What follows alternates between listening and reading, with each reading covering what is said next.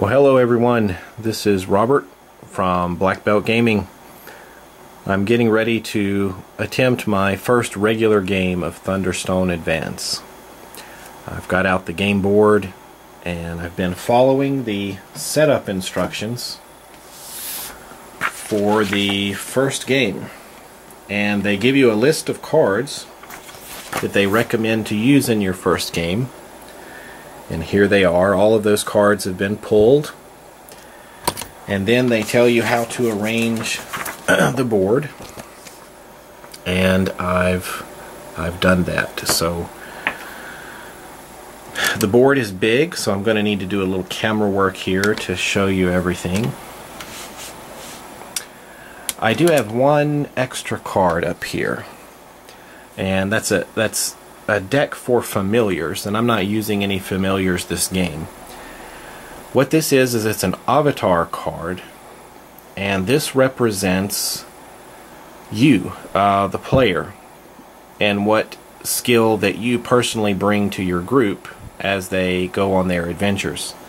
So I was going to play a ranger, and I'm level 1, and it gives me a special ability when I'm in the dungeon I can switch positions of two adjacent monsters in the hall. I found out that these are for experience points. So if I gain enough experience points, I believe while I'm in the village I can level up uh, heroes and I can also level up myself. And I think I can become a second level ranger. I don't know if it goes any higher than that, but um, that's sort of my understanding of how that works.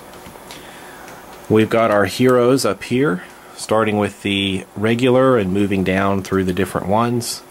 We've got uh, Brad Pitt Achilles here, and looks like a hunter, and a cleric, and a wizard. Then we've got some weapons in this row, uh, spear, a flail, and a, uh, a crossbow. And then we've got some sources of uh, light. These are items. We've got a torch, a moonstone, and then something here. It says uh, destroy this card to place the top card of any hero stack on the top of your deck. So I think this helps you get a hero. Maybe for a little cheaper. Costs uh, 5 gold. Some of the heroes cost 6 and 7 gold is what I see right now.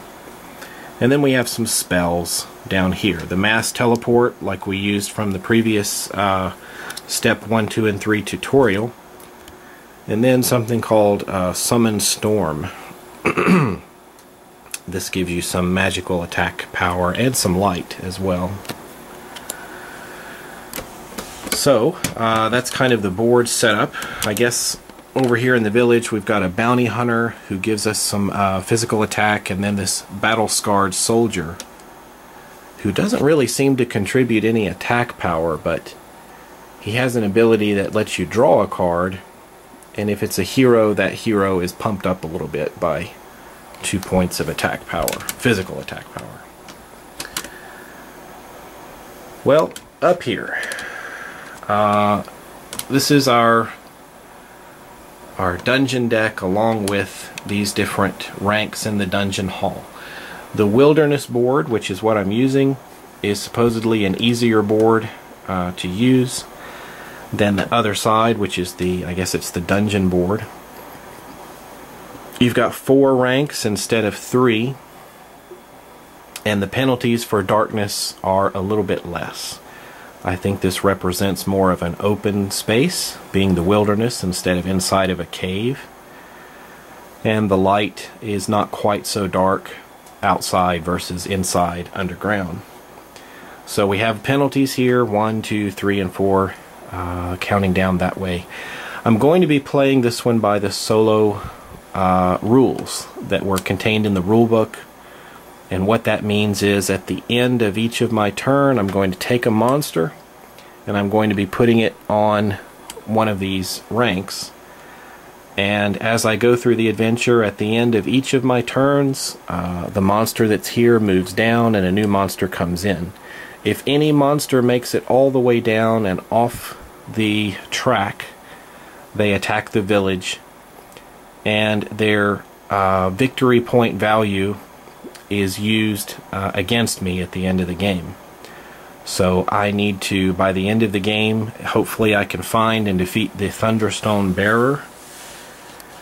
The Thunderstone Bearer is a, a boss card which is shuffled into this uh, dungeon deck.